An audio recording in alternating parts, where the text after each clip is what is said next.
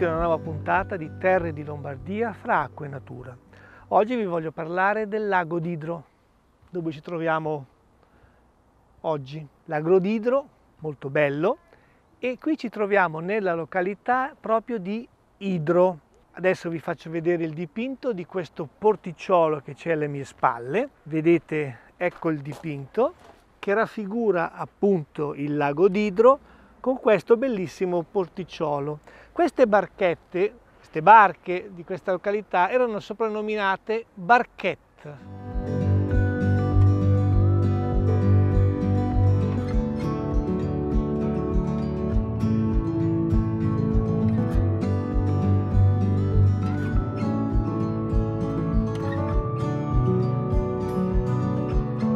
Parliamo di questa località Idro, piccolo paese situato sulla sponda est del lago, è composta da sei frazioni, tre capitelli, Pieve, Lemprato, Crone, Vantone e Vesta.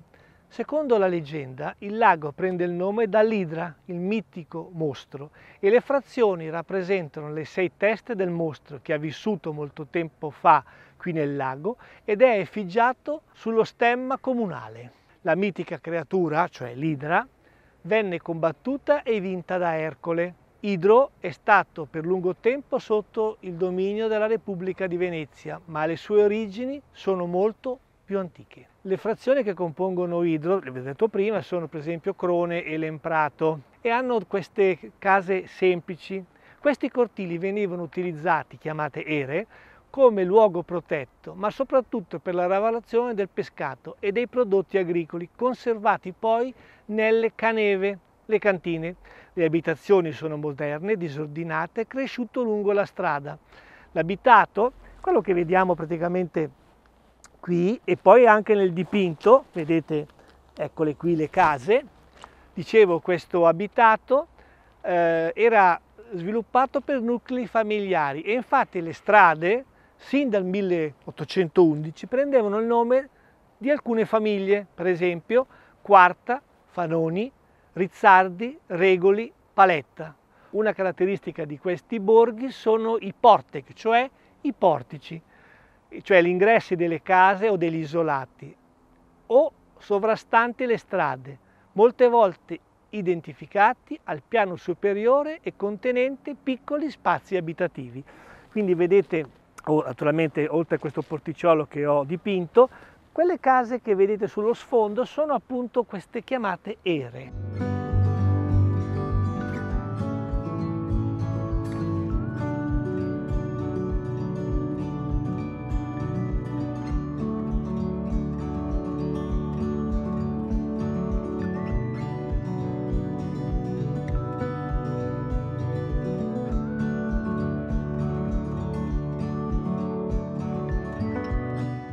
Tra le attività di un tempo storiche che troviamo sul lago d'Idro, la lavorazione del ferro, di cui esistono due bei musei.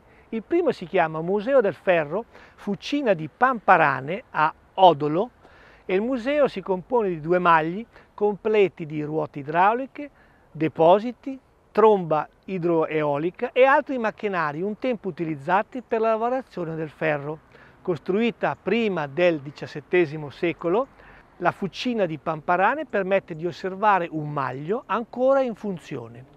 L'altro museo molto bello che vi consiglio di visitare è quello di Forno Fusorio a Pertica Alta, un importante esempio di archeologia industriale nel cuore della Valsabbia, simbolo dell'attività che per secoli dominò la valle. Fino al 1850 al forno confluiva il ferro estratto dalle miniere della Valtrompia, e che qui veniva sottoposto alle prime fasi di lavorazione. Gli scavi, che si sono svolti intorno al 2000, hanno riportato alla luce una buona parte dei resti dell'impianto originario, ritenuto dagli esperti fondamentale per lo sviluppo dei processi metallurgici ancora oggi alla base dell'industria bresciana.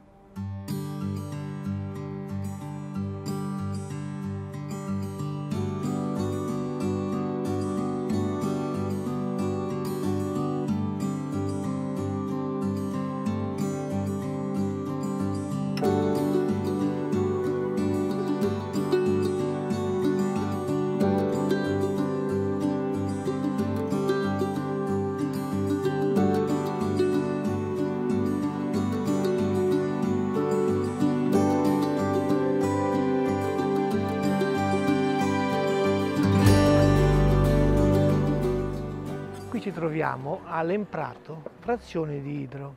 Ecco il dipinto che vedete qua, che raffigura questo imbarcadero.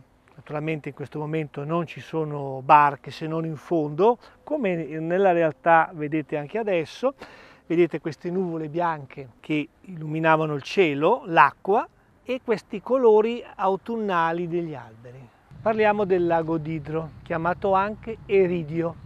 È un bacino di origine glaciale situato nella provincia di Brescia, ai confini con il Trentino, e formato dalle acque del fiume Chiese, suo emissario. I più antichi abitatori della Valsabbia e del lago sono stati i Liguri, che era un'antica popolazione che occupava il nord Italia nel 2000 a.C. Poi dopo di loro sono arrivati i Celti e infine i Romani. Queste località intorno sono appunto Idro, Crone, Anfo per esempio, che poi dopo visiteremo. L'etimologia del nome sembra derivi dall'antico nome del lago Eridio e si può tradurre con rapido fiume, oppure dall'antica popolazione degli Edrani, che erano dei reti che provenivano dalle pianure russo-asiatiche e danubiane e si stanziarono fra Trentino, Tirolo, Vicentino, Bellunese, fino all'Engadina e ai Grigioni svizzeri. I reti, secondo lo storico romano Plinio il Vecchio, erano divisi in vari gruppi, riconducibili però a un'unica entità etnico-culturale di origine etrusca, ma molti studiosi ritengono il contrario, cioè che gli etruschi derivano dai reti, il lago d'Idro, che noi vediamo qui, ha una forma particolare, stretta e lunga, che ricorda un fiordo norvegese.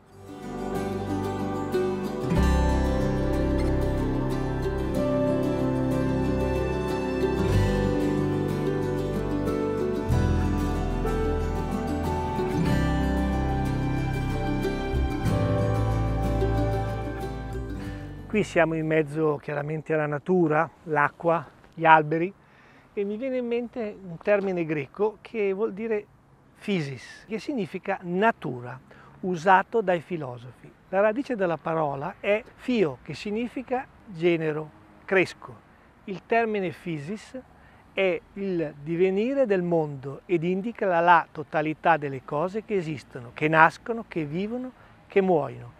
È il mondo della vita sulla terra, che si offre allo sguardo della vita quotidiana significa nascere. La physis è un termine greco che significa natura, soprattutto utilizzato dai filosofi presocratici. Tra l'età di Omero e l'età di Socrate, nella cultura greca si sviluppa un movimento di pensiero che pone come oggetto di analisi la natura, ossia la physis, di cui vi ho detto, e Aristotele chiama questi pensatori fisici, ossia studiosi della natura o naturalisti.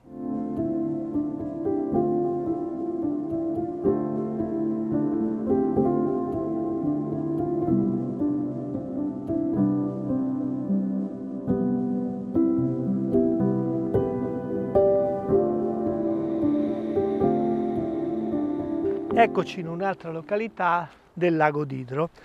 Qui ci troviamo a Pieve perché effettivamente non distante da qui si trova una pieve vedete il lago e vedete proprio in questo punto in cui troviamo anche il fiume Chiese. Ma parliamo del lago d'Idro. Vedete le montagne che possono arrivare anche a 2000 metri di altezza che si riflettono nel lago. E adesso vediamo il mio dipinto fatto in inverno. Vedete, quel giorno c'era una giornata di sole e l'acqua era veramente il riflesso del cielo. Quindi era veramente bella e infatti vedete ciò che c'era in alto io ho riflesso nella parte bassa. Qui davanti vediamo invece delle canne, un po' di rami secchi. Comunque ah, era questo bellissimo colore blu. Qui ci troviamo in Valsabbia, o detta anche Valle Sabbia, che è una valle prealpina situata nella parte orientale della provincia di Brescia. Il suo territorio è compreso tra il lago di Garda a est, la Valtrompia ad ovest, le valli giudicarie a nord e la pianura padana a sud. È percorso dal fiume Chiese, emissario del lago d'Idro. Dal 2011 si trova la più grande centrale fotovoltaica pubblica d'Europa che si trova in località Gusciana, sotto il monte Budellone. I primi abitatori di questa Valle Sabbia sono di epoca neolitica. Infatti hanno trovato dei resti di ceramica, litici, trovati nelle grotte, una in particolare che si chiama Quei de Baltù. Poi sono arrivati delle tribù, degli stoni, dei venoni, degli edrani che giungono dalle pianure russo-asiatiche e si spostano seguendo le grandi migrazioni. Erano queste popolazioni dei forti guerrieri, coraggiosi e indomiti, ma nell'89 la Valle Sabbia entra a far parte dei domini romani, come le terre dei Camuni, e inizia un conflitto contro i romani, ma alla fine prevarranno all'epoca delle invasioni barbariche si insediano sul territorio della Valsabbia poi, nel tempo, i Goti e i Longobardi. Solo nel XII secolo, in età comunale, gli abitanti della Valsabbia sono chiamati a difendere la libertà minacciata dalla nobiltà. Tra le località che troviamo qui in Valsabbia troviamo per esempio Gavardo, Vobarno, Vestone, Bagolino, Bione, Casto. In Valsabbia c'era una valle chiamata Valle delle Strie, cioè delle streghe e queste streghe si riunivano appunto in queste vallate per i loro convegni e i sabba infernali. Voi sapete che in tante regioni eh, si svolgono i falò, ma perché si svolgono questi falò anche d'inverno? Anzi direi soprattutto d'inverno, perché l'usanza di tenere accesi questi falò nei cortili, nei borghi, nelle piazze, è tipica e serve come rito di purificazione che ricordano i roghi appunto delle presunte streghe del Medioevo. Infatti viene appiccato il fuoco a un fantoccio che ricorda nelle sembianze proprio una strega. Questo fuoco vuole cancellare il negativo degli spiriti maligni ed essere foriero di benessere e prosperità per i raccolti e contro la miseria. Vi ho detto che il lago d'Idro forse deriva appunto dal mostro Idra. Ma le creature fantastiche nei secoli e nei millenni riguardano proprio la storia dell'uomo, le loro culture, la tradizione dei popoli e si sono arricchite di miti strettamente legati a queste creature mitologiche, leggendarie e in alcuni casi fantastiche. Queste creature dalle svariate forme sono spesso mostri inquietanti e si possono trovare nei miti, nei racconti, nelle leggende, sia greche sia romane e anche naturalmente medievali, ma anche in tante culture di altri popoli del mondo.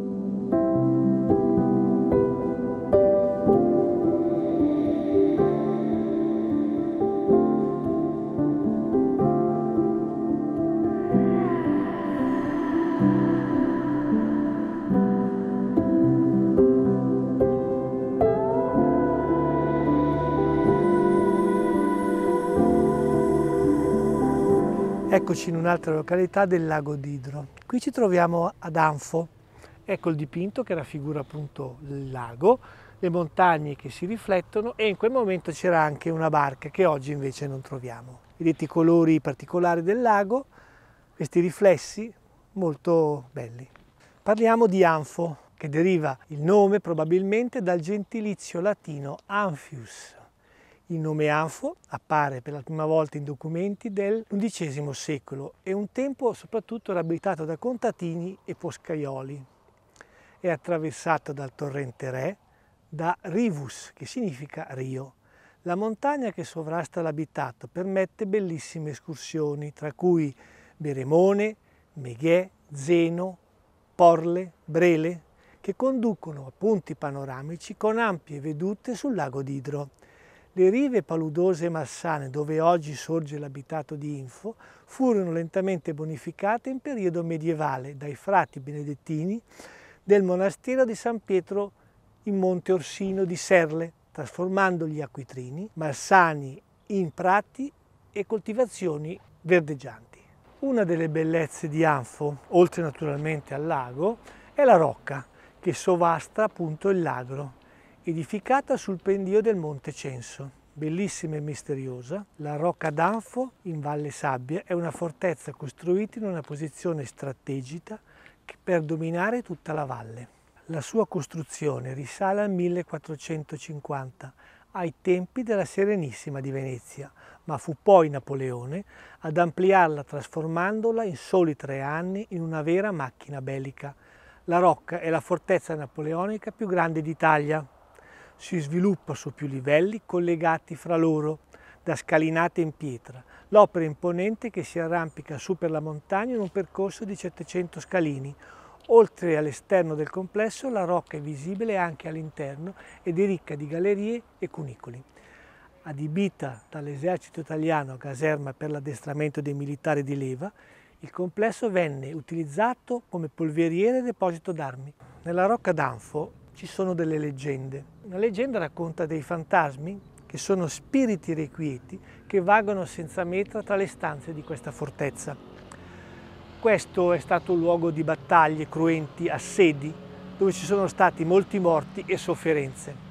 Forse questi fantasmi non esistono, ma quando si visita il luogo si rimane colpiti e si percepisce una strana atmosfera, io che l'ho visitata, e cioè questa atmosfera come se i muri avessero vissuto questi momenti drammatici, rinchiudendoli per sempre nel loro interno. Si chiude qui la puntata dedicata al lago d'Idro. Vi voglio congedare da voi con una frase di Anatole France, che è stato uno scrittore francese, premio Nobel per la letteratura nel 1921. La frase dice, per realizzare grandi cose non dobbiamo solo agire, ma anche sognare, non solo pianificare, ma anche credere.